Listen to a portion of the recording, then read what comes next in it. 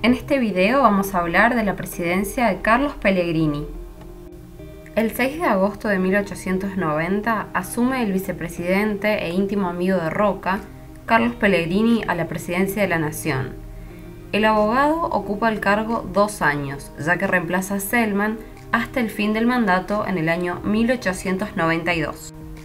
Pellegrini era conocido popularmente como el piloto de tormentas, porque en cuanto asume la presidencia toma acciones para evitar el avance de la crisis económica, tales como tomar préstamos, crear nuevos impuestos bajo una ley de impuestos para recaudar fondos, crear el Banco de la Nación, dado muchas veces de conservador, en el sentido de que se aleja de las políticas ultraliberales de Selman. Una vez establecida la cuestión económica, también crea la caja de conversión que permite la conversión de pesos argentinos a oro.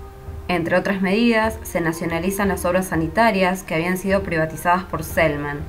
Dicta también una amnistía para los miembros del ejército que participaron en la revuelta contra Selman. Ordena el armado de un nuevo registro civil en todo el país y abre los patrones electorales para que los ciudadanos puedan anotarse. Pellegrini intenta obtener dinero también para pagar la deuda externa, pidiendo dinero a empresarios y bancos. Sin embargo, se produce un incremento de la oposición a la clase conservadora. Ante esto, Roca, como ministro del Interior, toma una decisión, la cual es tenderle la mano a Bartolomé Mitre. Creemos que, en parte para desintegrar a la oposición, es decir, a la Unión Cívica, ofreciéndole un puesto dentro del gobierno. En este tiempo, Mitre acepta. Este hecho va a generar que se provoque el quiebre de la Unión Cívica y el nacimiento de dos nuevos partidos, la Unión Cívica Nacional, presidida por Mitre, y la Unión Cívica Radical, reconociendo como sus líderes a Leandro Alem y a su sobrino Hipólito Yrigoyen, en el año 1891. Cuando se acercaban las elecciones presidenciales, se detienen a miembros de la Unión Cívica Radical.